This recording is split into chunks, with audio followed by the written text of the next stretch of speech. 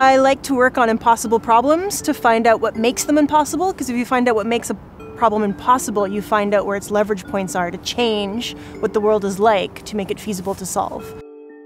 My name is Dr. Max Liboiron, and I study plastic pollution. I was researching garbage crises through history and how people overcame them when they thought there was an insurmountable, impossible to solve problem. So 1880s New York City garbage. Couldn't be done, right? Then it was done. Someone said, Oh, are you going to look at plastic pollution in the oceans as one of your case studies? And I said, No, because it's actually impossible to solve. And I thought about that for a few days and changed my entire career trajectory, so I only work on that problem now.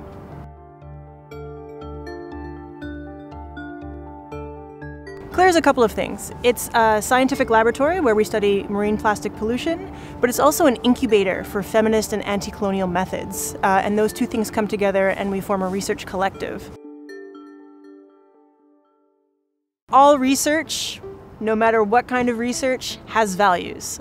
The thing about CLEAR is that we are very self-conscious and reflexive about our values, and instead of choosing, say, prestige and giant grants as our main goals, we choose humility and equity and a commitment to land as our goals.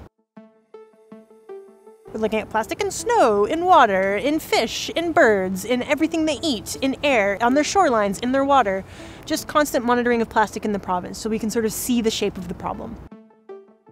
We created a bunch of accessible, do-it-yourself, kitchen tool sort of uh, surface water trawl.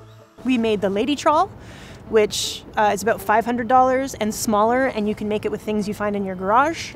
And then we did Baby Legs, which is about $8, made with soda pop bottles and, and baby tights, and like kids can use it. And it still collects data. We want to change the future of science, how science is done by who. So open access science, open access tools, humility. We have more trans and gender minorities in our lab than any other lab. We have indigenous folks, we have children, we have elders, right? Those folks making science is the sort of change we're looking to make with tools that they can use when they don't have grants and don't have a university.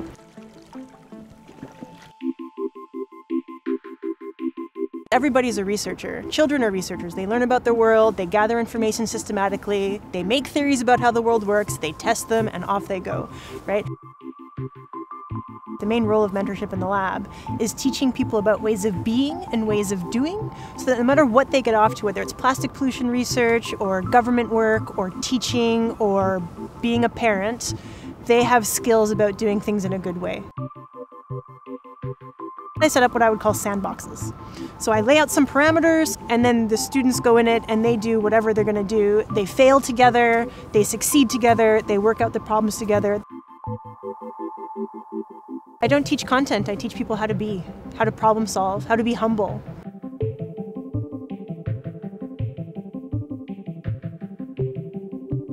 CLEAR operates on the premise is that everyone knows more than we do, including undergraduates, including community members, including plastics themselves. And we're here to learn from them and to put all that knowledge on the table in a coordinated fashion so we can co-learn.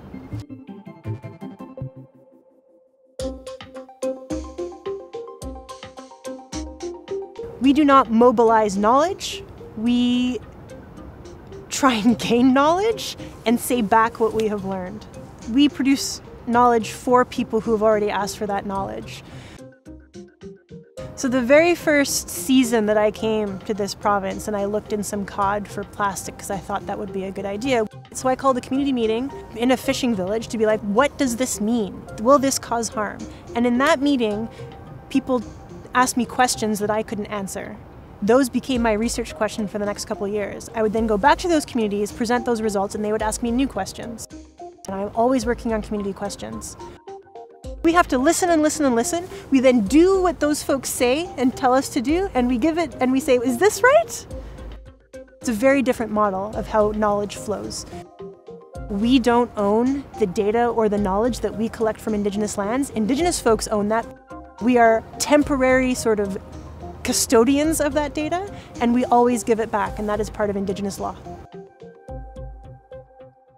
everyone, every culture, every age group, every gender, knows things and they know it from one perspective and not other perspectives. And that includes scientists who know things from one perspective and not other perspectives.